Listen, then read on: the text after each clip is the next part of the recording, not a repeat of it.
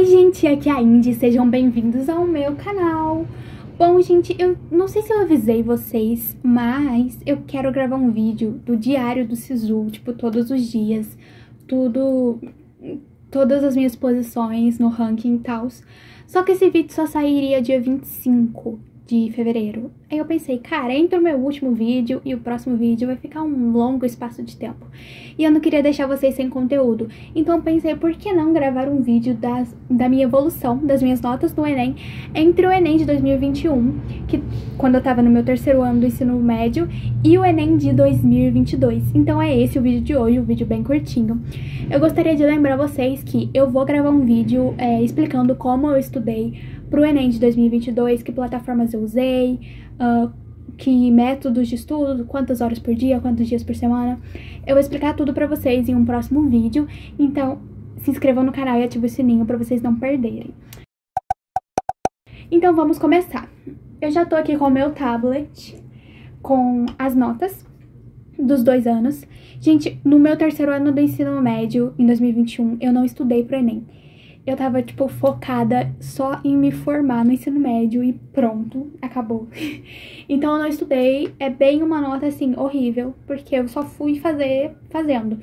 E eu sou de escola pública, e mesmo sendo uma escola pública boa, a pandemia atrapalhou muito a minha aprendizagem, sabe? Eu não tava, tipo, dando muita importância para as aulas, então por isso eu também tive um desempenho bem ruim e eu vou estar tá comparando só o Enem de 2021 e de 2022, porque eu não fiz Enem antes, no meu primeiro ano, nem no meu segundo ano. Então, ano passado, ano retrasado, 2021 foi o meu primeiro Enem.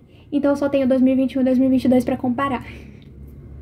Vamos começar então com linguagens. Uh, em 2021, eu fiz 19 acertos e eu fiquei com uma média de 549,1. E já em 2022 eu fiz 37 acertos, então, tipo, evoluiu quase 20, sabe? E eu fiquei com uma média de 680,2. Assim, os acertos aumentaram muito, mas a média, hum, o TRI não, não valorizou tanto, porque é linguagens, é o que acontece. E, cara, linguagens eu percebi que é uma coisa que você precisa fazer muitas questões para você pegar o padrão do Enem, sabe? Então, tipo, ah, eu fui pela primeira vez sem conhecer. Eu nunca tinha feito uma prova do Enem antes, nem simulado, nem nada. Então, eu só acertei 19, mas agora, tipo, com o padrão do Enem, conhecendo melhor, eu já consegui fazer 37. Então, tipo. Vamos agora para humanas. Humanas, em 2021, eu acertei 33 e fiquei com 660. E em 2022, eu acertei 34 e fiquei com 680,8. Então, olha, uma questão a mais, 20,8 pontos a mais, pra vocês verem. Eu sinto que, assim, uh, em 2021, os meus acertos do, em humanas foi mais em história. Por quê? Eu falei pra vocês que eu não estudo, que eu não estudei pra Enem de 2021, mas história eu tinha mania de, tipo, estudar quando eu tava entediada e queria fazer alguma coisa, sabe? Às vezes, quando eu tô entediada, eu penso, hum, vou estudar história. Que nem agora, nessa época do SISU, que, tipo, eu parei de estudar porque eu tô muito ansiosa. Então, uh, eu tô lendo um livro, A Cidade Antiga, sobre Grécia e Roma Antiga. Tipo, tem 400 páginas sobre Grécia e Roma. Então, tipo, às vezes quando eu tô entediada, eu estudo história. então, isso me ajudou bastante em conseguir esses 33 acertos mesmo sem estudar, só, tipo, lendo livros e vendo videoaulas. Mas, assim, em 2021 eu pequei muito em geografia, filosofia, sociologia, a maioria dá pra acertar, assim, por vida, né? Tipo, você vive e você sabe. A, ma a maioria, né? Não tudo. Uh, já no ano de 2022 eu só evoluí uma questão, porque eu errei bastante geografia física. Eu acertei muitas questões de história. Eu acho que eu acertei praticamente todas de filosofia. Só que muita geografia física me pegou. Então, não é algo que eu esperava, sabe? Já em natureza, eu tô com vergonha de falar a minha nota em 2021. Cara, eu tive uma péssima base de química e física no ensino médio. Primeiro porque, tipo, eu, meu professor de física não era um dos melhores, eu não eu não entendi o que, que ele falava. E aí entrou a pandemia e eu já desisti de aprender. Então, tipo, eu não aprendi física e química no ensino médio. Então eu fiz 12 acertos em 2021. Eu acho que eu só acertei biologia. Sério. Eu, eu, se eu acertei física e química foi no chute, porque eu não sabia absolutamente nada. Eu fiquei com uma média de 495,6 em 2021. Já em 2022, eu evolui para 25 acertos, ou seja, mais que o dobro. Só que também foi ruim, porque nos simulados que eu fazia em casa, eu acertava 33, 34, 35, então eu tava nessa média. Mas aí, tipo, chegou Enem de 2022, uh, as questões de natureza mudaram muito, o padrão caiu, conteúdo que não costumava cair, que eu não tava preparada. Então, 25, mas se, tipo, tivesse nos mesmos padrões que dos anos anteriores, eu acho que eu teria feito umas 34, 35 em natureza. E eu fiquei em 2022 com uma média de 678,4. Matemática. Gente, é, em 2022, em 2021, eu fui só sabendo matemática básica. Era o que eu sabia, gente, matemática básica.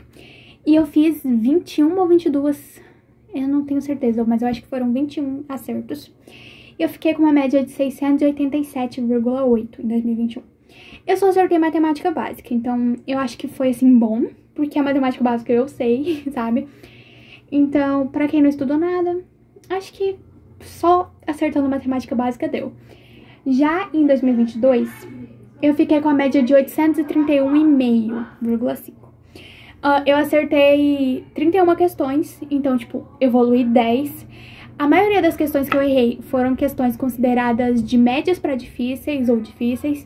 Então, tipo, não foi a matemática básica. Eu errei uma de matemática básica por falta de atenção. Sempre acontece. Mas a maioria foi, tipo, média para difícil mesmo. Então, tipo, a matemática básica eu sei, eu me garanto. Em redação, em 2021, eu fiz três ao longo do ano, porque tinha um projetinho de redação na minha escola e eu participei no começo, mas aí depois eu parei. então eu fiz três e eu tinha tipo uma ideia básica da estrutura da redação do ENEM. Eu não sou adepta ao modelo pronto, não gosto de usar e tipo, eu não recomendo vocês usarem modelo pronto.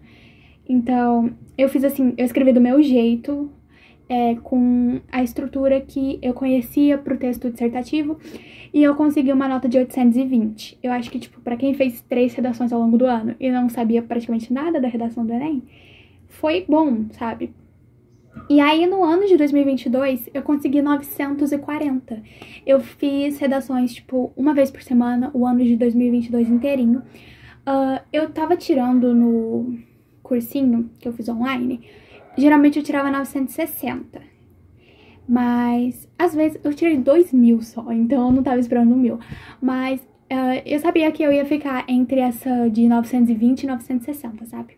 Então, 940 foi uma nota muito boa pra mim, eu adorei. E eu acho que, tipo, no geral foi uma evolução boa. Agora, gente, eu vou falar pra vocês da evolução das minhas médias, sem pesos nem nada, só a média simples. No ano de 2021, a minha média simples ficou de 642,5. Já no ano de 2022, ficou de 762,18. Então, tipo, eu evoluí 120 pontos. De um ano para outro, eu acho que foi uma evolução bem considerável em um ano, então, gente, esse foi o vídeo. Eu espero muito que vocês tenham gostado. Se vocês gostaram, deixe seu like, se inscreve aí no canal, porque tem muito vídeo sobre Sisu e, e Enem, essas coisas vindo. Então, aguardem aí. Tchau, tchau!